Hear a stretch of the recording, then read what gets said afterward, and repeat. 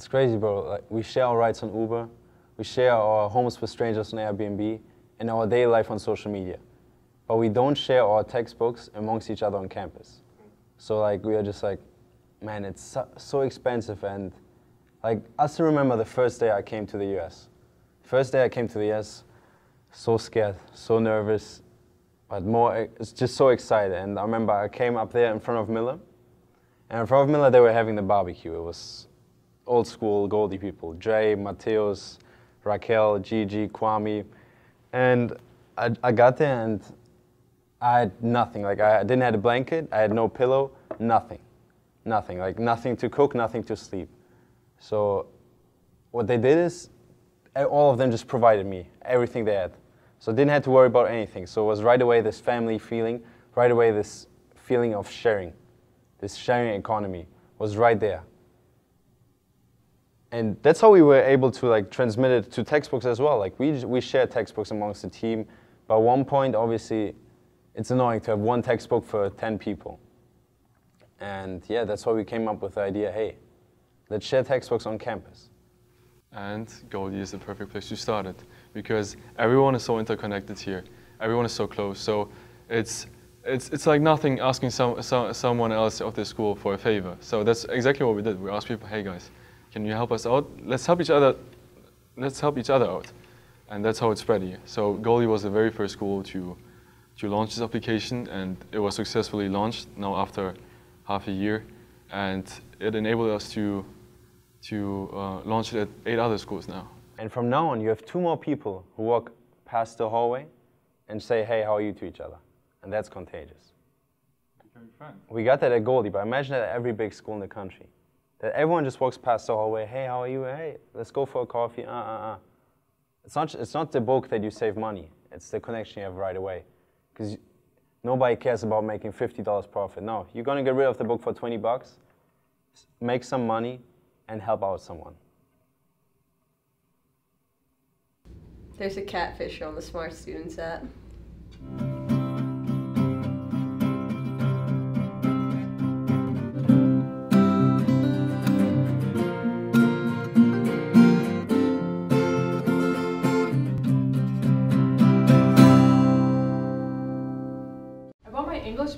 Smart Students, and when I went to get it, it was a fake book.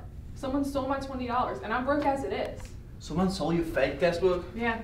Ah, I'm pretty sure it just happened to me right now. Did you use Venmo? I did. Why would you use Venmo? Alright guys, calm down. You can make it through any class here at Goldey without a textbook, so. Here's the app. I have an account on it. I don't buy any textbooks because I don't use them. But I admire what Chahin and Artur are doing here. That's why I'm gonna help catch this catfisher.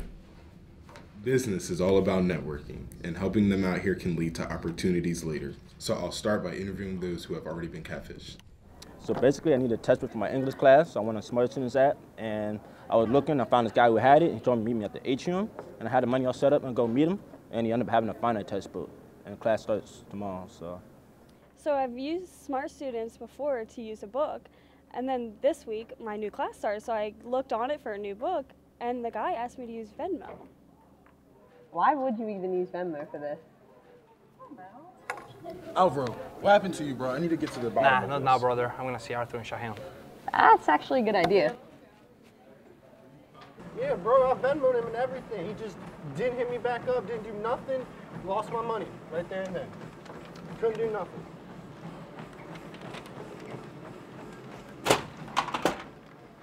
All right, with the evidence I've gathered, I'm going to security, and we're gonna catch this catfisher. I'm on my way to Darian's room. Whatever you need, he has it. He has all the stuff. Watch this. Yo, Darian.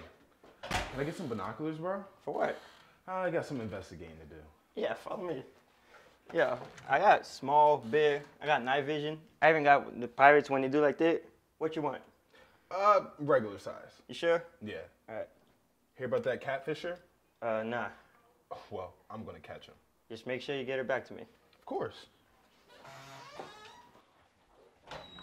Hurry up, we're almost there. Alles klar, dann muss das ja jetzt funktionieren. Warte, Wo hast du jetzt den Namen drin?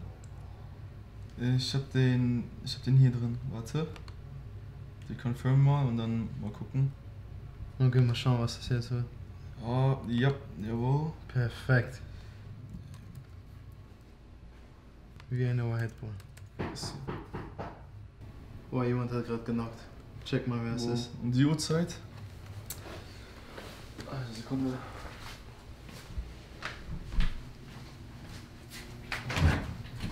Hey Cheyenne. Hallo? We have a problem. What's the problem? There's a catfisher on the Smart Students app. A catfish?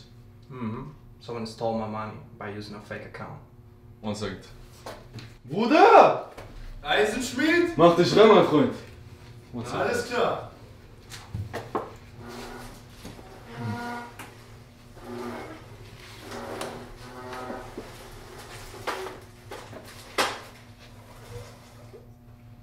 Bruder, da bist du Ramin.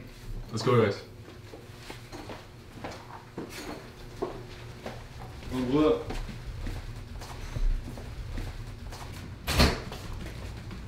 Guys can take a seat. Guys, do you want some yogurt while you while you waiting? Yeah, I'll take your. Yeah. Yeah. Got it. I'm going to check the books posted, cross-reference them with your classes, Thank you, man. and from there on I can guarantee you guys we'll find the catfisher. Okay, good, you're here. Had a great idea about catching the catfisher. Put a book on the Smart Students app. I'm gonna watch him do it with these binoculars. Don't worry about that, that's nothing. Is that the mascot?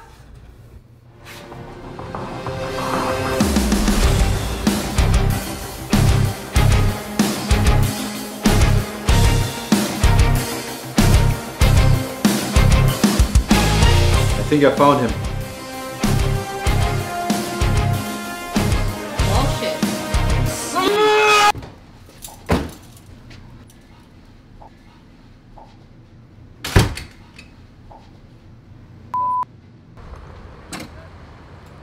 I don't know how people do this nine to five nonsense when I'm out here grinding. Found this smart students app. Like, you sell textbooks on it, but like, I don't know. I just like took a picture of the cover and like cut out the pages of the inside of the book. So like, when they got it, there was nothing.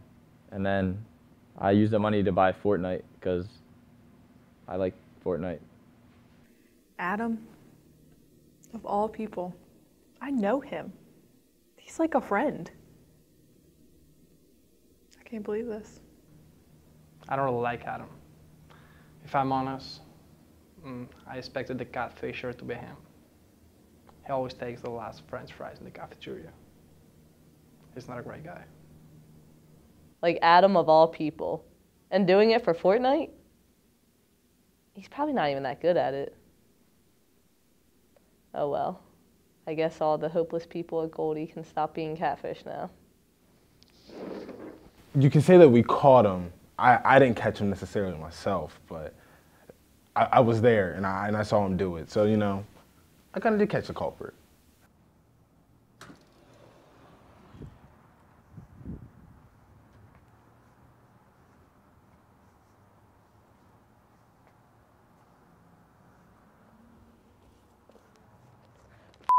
Adam, Jesus Christ!